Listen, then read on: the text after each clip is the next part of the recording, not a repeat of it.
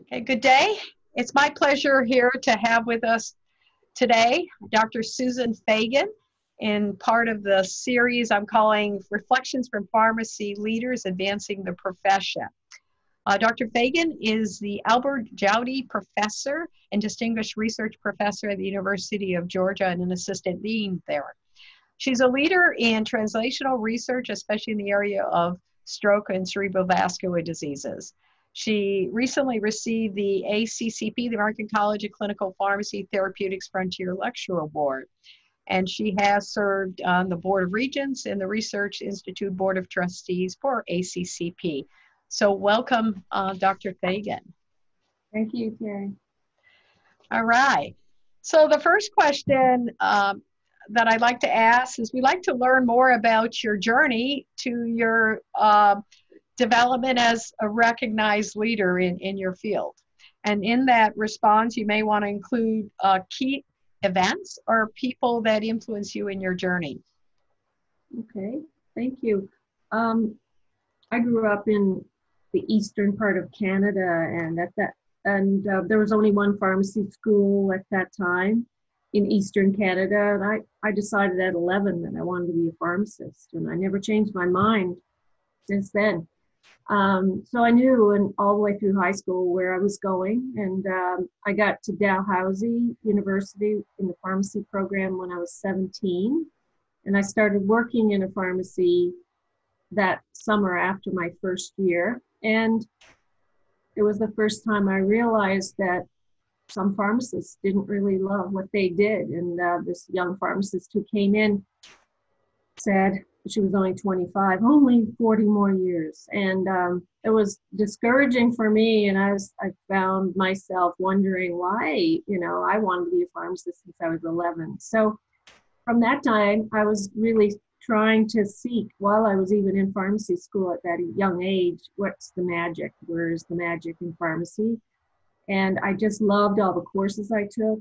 And when I started studying therapeutics, I was inspired by the one PharmD we had at that time who was teaching us how to use drugs in people. And, and we used the Koda-Kimble textbook, and it really captured my imagination. And I said, I want to be like that. I'd never really even seen a clinical pharmacist in action, but just in the classroom, I thought that knowledge base was so exciting. So I went to work in a pharmacy, community pharmacy in a small town in Nova Scotia, but with the in the back of my mind that I would go back to school and get my PharmD. So um, there was no PharmD programs in Canada at that time, so I applied to a few in the states, um, and I got into Buffalo. And Buffalo um, at that time was um, very highly regarded, a small post-baccalaureate PharmD program and had a lot of Canadians since it was on the border. Um, and I enjoyed that very much, even though it was very intense. I had Gerhard Levy for pharmacokinetics, and I, I really wasn't even taught pharmacokinetics in my BS program, but um, just pharmaceutics. But I, I, I liked the intensity, and I loved um, what it was to be in a hospital where it was open 24 7 and you could work as long as you wanted. There was always things to do and learn, and I really loved that. And um, my advisor was Fran Gengo, who um, was starting to get interested in stroke research, and so I was assigned to him as um, his one of his advisees, and so. When he had the opportunity to have a research assistant, I volunteered and was hired in my second year of the PharmD program. And that was fabulous. I loved it. I recruited patients for a clinical trial that was being led by one of the neurologists there, and they were stroked. So during that process, I said, he tried to convince me, you should do a fellowship so you can gain more confidence in research. But I was anxious to get back to Canada. And so I said no. So then I looked at the jobs in Canada, and there weren't very many. And so I decided, no, I think I'll stay for a fellowship. So I stayed and did a two year fellowship in neuropharmacology that really um, got me interested in even translational research, although we didn't use the term back then. I did animal models of disease, and it was the blind leading the blind. It was terrible. We just read about the models and tried to replicate them in both gerbils and rats. And although it was exciting, um, it wasn't a good way to learn how to do models of disease. You really need to see it. You can't get all the details out of the, uh, the journals. So anyway, did that, and then I was recruited to Wayne State University, where um, I didn't get my own lab, I didn't get a startup, but I was tenure track, and um, I wanted to work with the stroke team there in clinical research, and I had an opportunity to work in the lab of some people who were doing federally funded research in stroke models, and I learned more as a very junior person there. Um, so um, that's when I said, you know, I started to do really quality um, animal research in stroke and under other people's lab. I never had my own lab. Um, I know this is going on and on, Terry. I, oh, I'm watching the time. We're good. Okay, uh, sorry, but um, I finally decided I wanted to have a lab. So I, after I got promoted and tenured, I I decided to do a sabbatical so I could get the competency to run my own laboratory. So I went to UCSD in the laboratory of Justin Zivin, who was um, actually the scientist who had published the, the study in Science in 1985 that led to us studying TPA for stroke.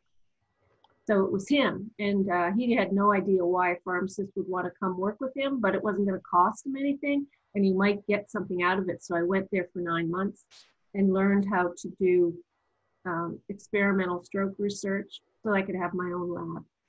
Wow.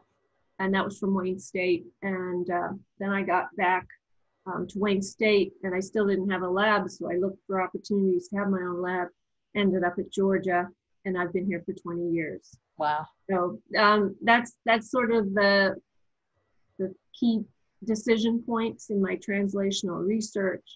Um, but during that time, also, I, I never wanted to just be a scientist. I very much was drawn to being a leader because I, even as an assistant professor, I saw there's a need for organization and groups together, and I saw the downside of having every man for himself or every woman for herself on an uh, in an academic environment. So I, I nurtured those things all the way through too. So while I was doing the research. Wow, thank you very much for those uh, insights into your journey.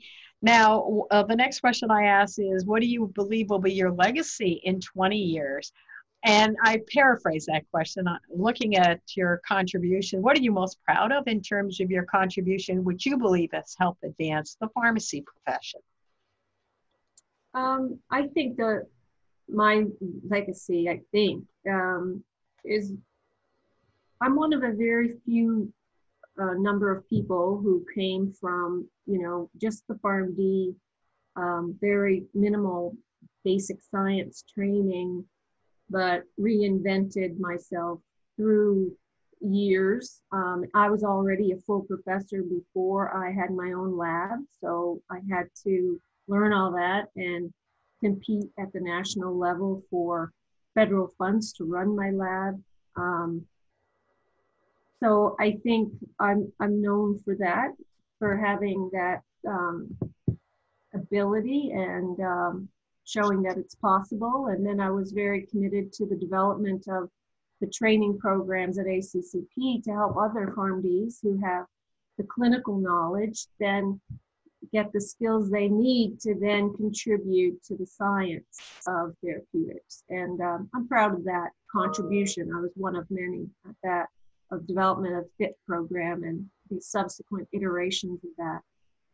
Um, as far as at the University of Georgia, I think uh, I'm very proud of the 20 years I've spent there because I advocated for the new building. They hadn't had a, a building of their own in almost 50 years of being on that campus in Augusta Medical College of Georgia. And I, I worked very hard and um, for probably eight years to get our own space. And we got that in 2016. And uh, just in 2019, we finally got our own lab. And I think um, having a wet lab that on our, our campus in Augusta has allowed us open doors for us for the future to have um, our own space that we can continue to build our our science and therapeutics. So my contributions to the science on the Augusta campus and the facilities, I, I think I'm very proud of. Very good. Thank you very much for that. So words of advice for students in their professional journey. How, especially as they develop as a leader. And leader, we're saying the little advancing, influencing others to advance the profession. Yes, I think that, you know, and I tell my students this that if you're surrounded by people who have a neg who are in your profession but have a negative countenance, then you need to remove yourself from that and find the people who have that positivity and that optimism. Because if I had stayed within that environment, my first encounters with pharmacists, um, it would not have led to the rich career that I've had. And, and being around inspirational people um, has always been and continues to be uh, what drives me and, and what gives me a lot of hope and optimism. So when I started to get involved at ACCP, for example, get around the leaders, you know, and um, find out what makes them tick and um, how they conduct themselves and how they feel about things. And um, that will inspire you, you know, being on, being with colleagues and, and uh, hearing their stories and their hopes for the future. Um, very important. And it's what propels everyone forward, I think. Mm-hmm. Never be content. Right. That's great and and that's great words because that's very consistent with what these interviews will do for students as they listen mm-hmm. to various leaders all over in different in settings. Beautiful. Thank you very much for that. So that my final question uh, it, it's a history course so in in uh, you know as we study the decades of the 2020s one of the things we'll mention as a key event in this decade will be the covid-19 pandemic. And um, and will like other things in history things that happen in the world helps to shape uh, our profession. And how do you see the covid-19 pandemic being you know recorded in history as it being an opportunity for our the profession of pharmacy? Yes um, it's been devastating but there have been some good things that have come out of it already. I was going on my daily walk this morning and I realized we're probably going to miss this quiet and we're probably going to miss this time for reflection because I've been doing a lot of that in, in these last couple of months and uh, it's probably it's been a good thing. But the other thing, and I told our graduating students just a couple of weeks ago that you're graduating into a different world and you're going to have opportunities that come from this. And one of them is we have this resurgence of respect and admiration for all healthcare professionals that our, our current graduates are going to benefit from, but they're also going to have to live up to. And I think there's opportunities, and we're already seeing it come to be for pharmacists to get involved in public health. And although that's been a growing field in pharmacy practice, I think it's going to come to the forefront. And we're going to have to vaccinate 7.5 billion people um, in the near future. And I hope that pharmacists are on the forefront of that. So we're going to have more opportunity, but higher expectations. So I see it as opening some avenues. I mean, maybe even saving the community pharmacy because in the COVID, everything was shut down except for community pharmacies and, and grocery stores. And our community pharmacies became our lifeline again. And I think that is a great, that's going to be good for pharmacy.